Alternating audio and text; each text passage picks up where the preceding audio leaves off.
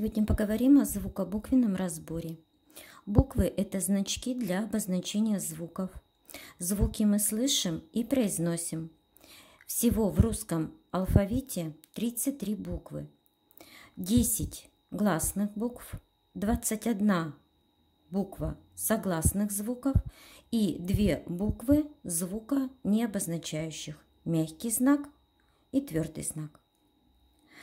В русском языке шесть гласных звуков А, О, У, И, И, Э. Шесть пар по звонкости глухости Б, П, В, Ф, Г, К, Д, Т, Ж, Ш. Звуки Ж, Ш, Ц всегда твердые. Звуки Й, Ч, Щ всегда мягкие. Остальные звуки согласные могут быть твердыми, могут быть мягкими. Мягкость им придают буквы Я, Ё, Ю, И, Е, мягкий знак, если пишутся после них. Твердость придают буквы А, О, У, И, Э, если пишутся после них. Буквы Я, Ё, ю, е.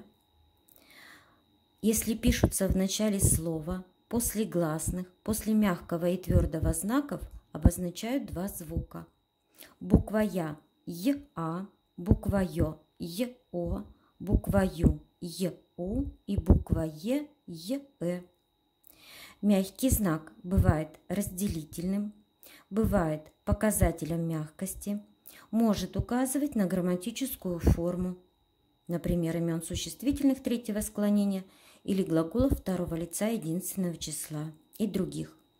Разделительный твердый знак только разделяет согласный от гласного.